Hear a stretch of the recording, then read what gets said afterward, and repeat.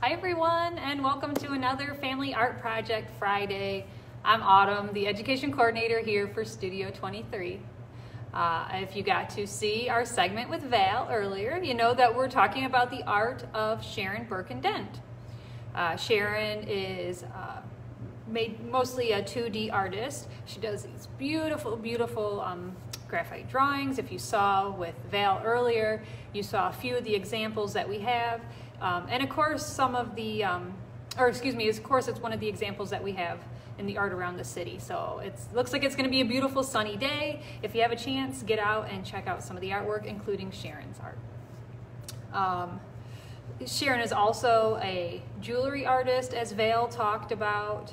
And um, when, you, when we look at her examples, we see that um, she's got a much more realistic style, uh, very, very detail oriented. She tends to focus a lot on nature and animals and even fantasy themes. Uh, there are some examples um, that I've seen of her work where she focuses a lot on fairies. And I, I think Val might have shown a couple of those as well. So um, I thought it would be fun to do a project inspired by Sharon's work that was also fairy themed. So we are going to work on, I have this fun little project here and I'll get it a little closer. We're going to do a mixed media family project that's fairies. Now you'll notice one big difference between Sharon's fairies and our fairies today is that our fairies are not very detail oriented and they're um, they're very stylized. So stylized, if you're um, looking to explain that to your younger students, stylized is really just um, simplifying your line or your shape or your form of an object or a figure or a figure, um, but it's still going to be recognizable. So if you look, you know, it's very simplified. There's not even a face on my fairies, but you can see the arms and the legs and the wings, and you know that it's supposed to be a fairy. And this is great for younger students because then they don't get really frustrated if it doesn't look exactly what maybe they think it should look like. If something's more stylized, it's, it's a lot easier for them to just go for it and create something, right? Because they'll know, well, it generally looks like a fairy. So uh, to create this, you're gonna want some kind of paper or cardstock to put it on for the background. Uh, I used watercolor paints. I also used some construction paper for the wings. And then I used some found object for the, um, for the little outfits that our fairies are wearing. Now, I used some feathers. Let's see, I used just some regular old feathers that you can get from the craft store. Uh, I use some foam stickers. These are also something you can get easily. Uh, I think, I think you can even get these from the dollar store. So these are fun to use. Um, ribbon, I have some ribbon laying around.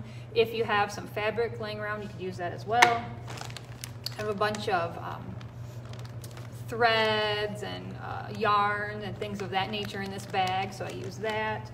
Um, but don't be afraid to think outside of the box as well. For this one in particular, I use these little um, uh, leaves off of a fake flower. It, you know, and I just figured out a skirt. Go for it. Think outside of the box. That makes it so fun. Or encourage your student to think outside of the box. Um, I have this moss. We always keep this dollar store moss around, and I thought, well, this would make a really fun skirt as well, right? So just stuff like that to consider. Um, and then otherwise you'll just want some kind of heavier paper, like I used a cardstock to create my, my little um, characters, some scissors, um, and maybe even like some kind of old magazine that you could cut up too. That's something you could definitely use for their clothing as well. So maybe a good idea would be to go on a little supply hunt before you get started. That would be fun to do. All right, so that I think is it for all the supplies. Let's go ahead and get started.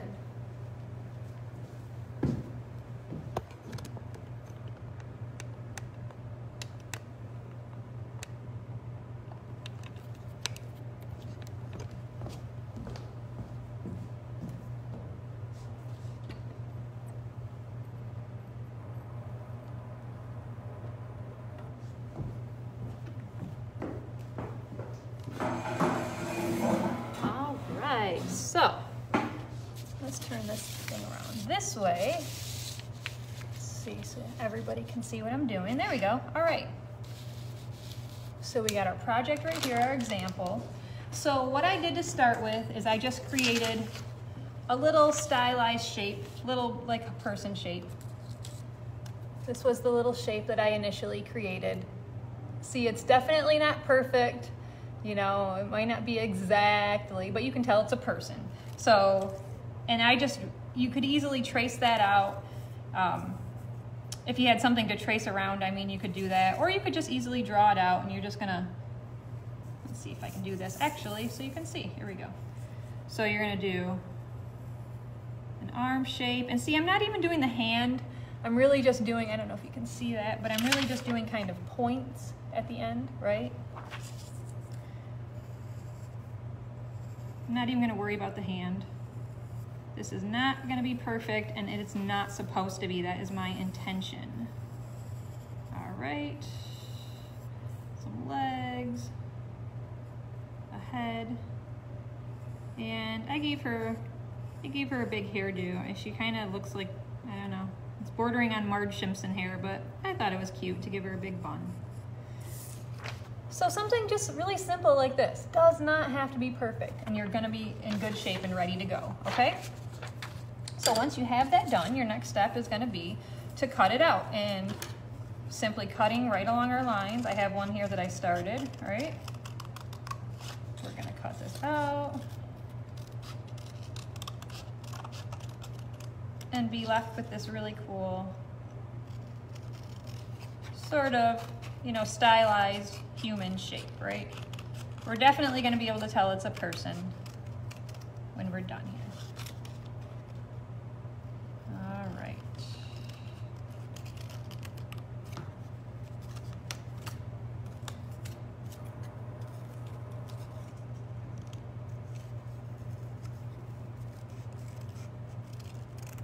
And that one is cut out.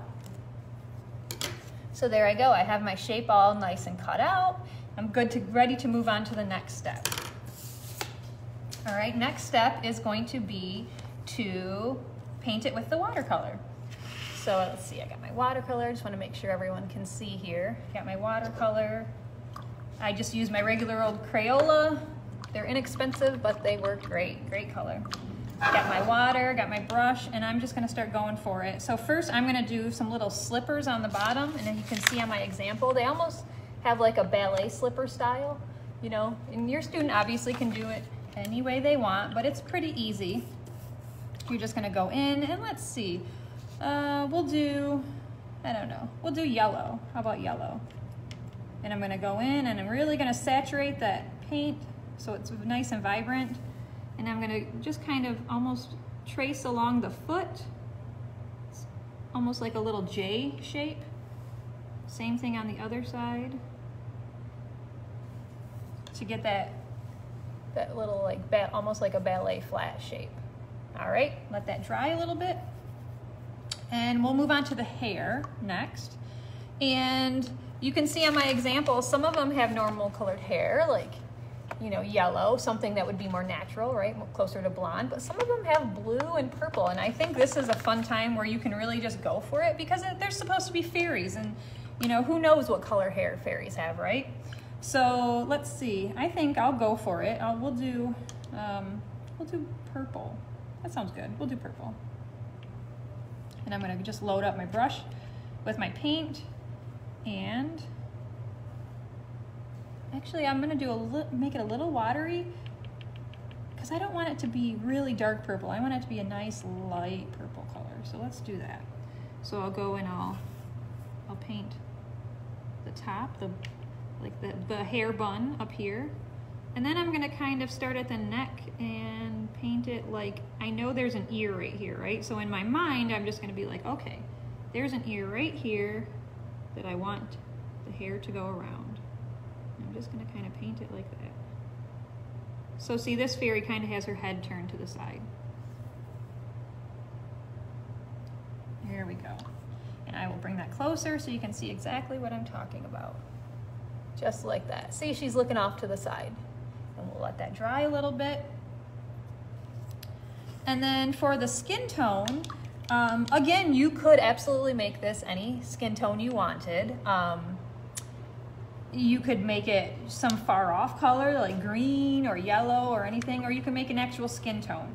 If you're looking for a lighter skin tone, um, I would probably mix like orange with a lot of water, maybe a little bit of yellow, maybe a tiny bit of red, but you really want a lot of water if you're getting a, a lighter skin tone.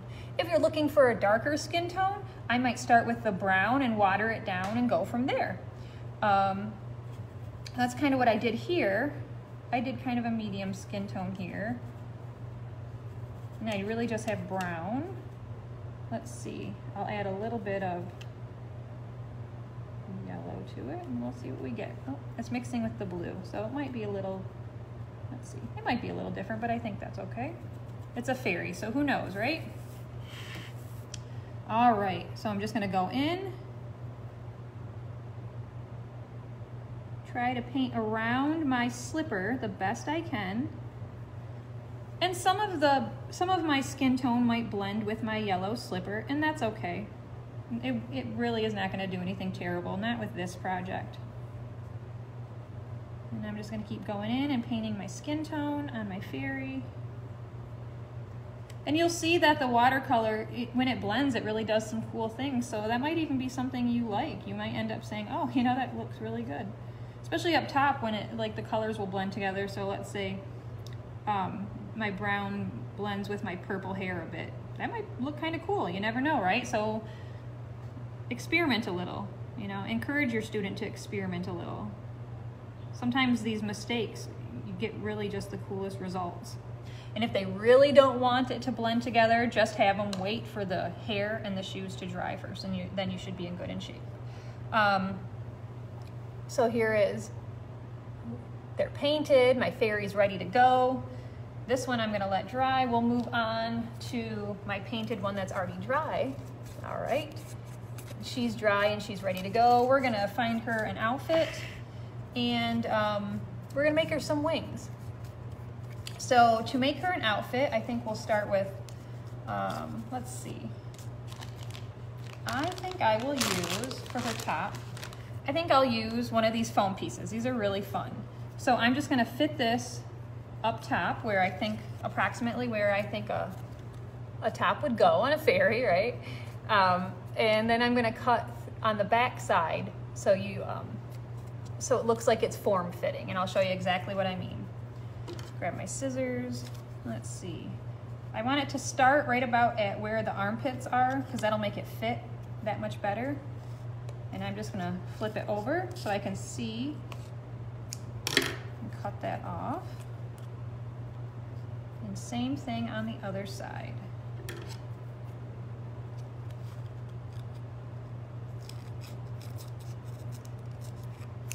All right. So super easy, just like that. And then the great thing about these foam pieces is that they're self-sticking, so that makes it even easier for me. So I'm just gonna go ahead pop that right on. All right, there we go. So our fairy has a top, right? So that's pretty cool. And so now I think for the, um, for the bottom, I think I'm gonna use some of this moss. Now for something like this, you may have to use um, actual glue, like from a bottle, the, the little messier kind. I don't have that with me right now. I just have the glue stick, so we're just gonna go for it. But I think if I put a lot of it on, think a good amount should still stick. So that's something to keep in mind too. If you only have glue sticks and you want to use something pretty big and bulky, just really load it up with glue first and then you'll probably get it to stick. And I'm even getting some on the foam piece and that's perfectly fine because I really just want it to stick. So look how heavy I went with that glue, right? You can see down there in the bottom all that purple. So I went pretty heavy with it. And then I'm just gonna go in and I'm gonna just kind of squish it down and go for it. All right. Do a little more. We don't need too much. There we go. I like that. That's super cool. I think that's, uh, I, I love the unexpected, the little unconventional things that really turn out cool. So you can see right here, look at that sun. Um, she's got this cute little skirt made out of moss, right? Which, I mean, who knows? You might see a fairy wear that, right? So there's that. And then lastly, she needs wings. Um, but before we do that, I think what we'll actually do is we need some kind of background to put it on. Now you don't have to have a background. You could just put them on your, I don't know, attach them to your wall. You could really attach them anywhere, right? But I think I want it to have a background. So all I did was, I, again, I used a stylized version of a sky, right? So it's just kind of an implied sky. I have some orange, I have some red, I have some purple, the idea of some clouds that I've left white intentionally. So um, you could really easily just go in and I'm just gonna get some my paper wet a little bit. And then I'm gonna just go in with my colors. And see, I'm really just going for it and I'm not being careful. so, you know, the kids will have fun with it, right? If they don't have to be careful. And I'm just gonna kind of scribble it in because it's just the, it, I'm just implying that it's the sky, right? There's nothing that definitely says, oh, that's the sky. And I'll put a little more water down and then I'll go in with my red under that. Ooh, and that'll blend with the orange nicely. All right. Put a little more water down. All right. And then I'll go in with some purple. And that'll blend nicely with my red. And if you watch my videos, you know that I really, I prefer to not have a blue sky because we always just say, oh, what color is the sky? It's blue. And if you watch my videos, you know I say it all the time. The sky is many, many colors. It doesn't have to just be blue, right? All right, so that's good enough for me for a background. I'm gonna let that dry a little bit. And then we're gonna go for some wings. And I'm just using some regular old construction paper. Let's see, I don't know what color wings will do for her. Maybe, maybe light blue, that sounds good. So for the wings, you really just want this, I mean, I don't know what you'd call this shape. To me, it almost looks like, I don't know, a chromosome or something, but it's like an X shape, I guess, is how you could describe it. And if you want the wings to be um, symmetrical, remember, we just fold our paper right down the middle lengthwise. If you needed to, your student could draw half of it on this side, right? So let me grab my pencil. If they needed to, they could just go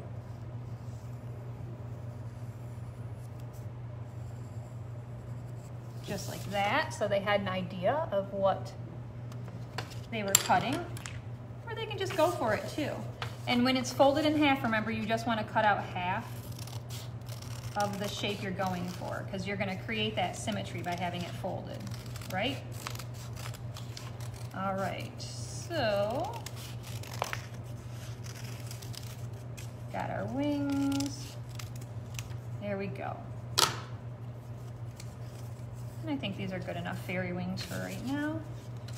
So then what you would do lastly is once your paper is dry, you would take your glue